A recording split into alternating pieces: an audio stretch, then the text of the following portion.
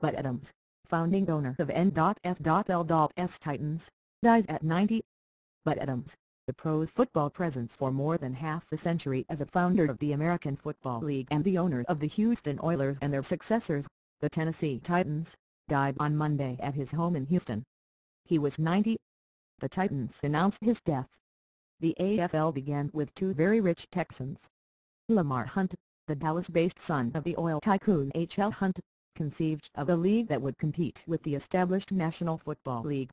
He enlisted Mr. Adams, the owner of the Ada Oil Company of Houston and son of Phillips Petroleum's chairman, to join him.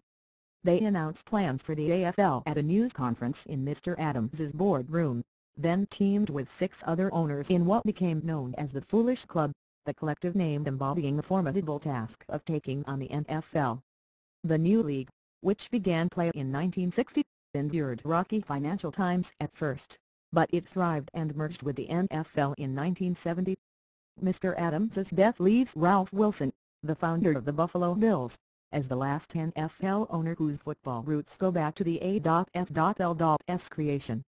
Mr. Adams, who, like Mr. Hunt, had been rebuffed in efforts to buy the N.F.L.S Chicago Cardinals before forming the AFL, obtained his Houston franchise for the league's inaugural fee of $25,000.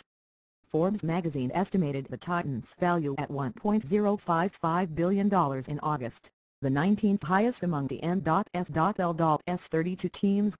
The Oilers won the first two AFL Championships, in 1960 and 1961, then lost to Mr. Hunt's Dallas Texans the predecessor of the N.F.L.S Kansas City Chiefs in the 1962 championship game. By the late 1980s, Mr. Adams was complaining that the Oilers' home, the Astrodome, was outmoded, and he considered moving the team to Jacksonville, Florida. The Astrodome's seating was expanded with financing from a public bond issue, but Mr. Adams remained unhappy.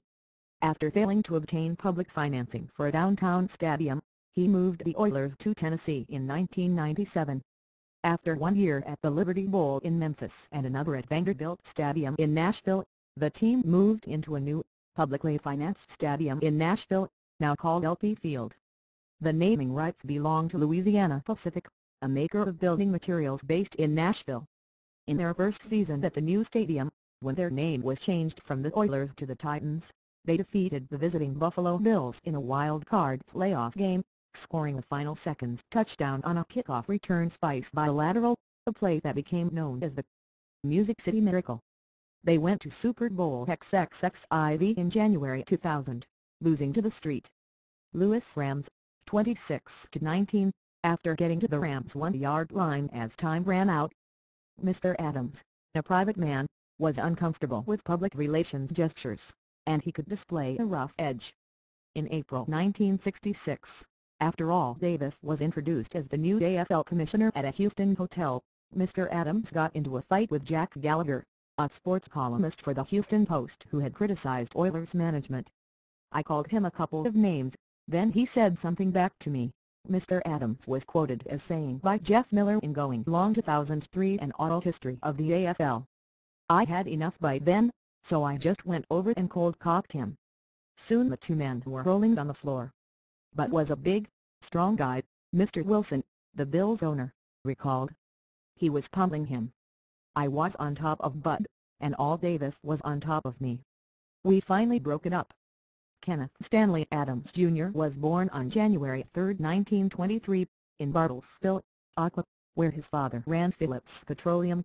He played in the backfield for the University of Kansas before serving as a Navy officer in World War II, then settled in Houston in 1946 and founded Ada Oil.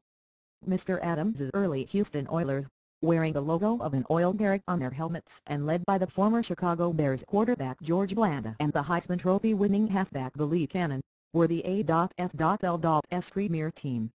Mr. Adams ran the Oilers and his other businesses from an office in which he displayed a collection of Western and American Indian art. He belonged to the Cherokee Nation as a descendant through his mother, Blanche,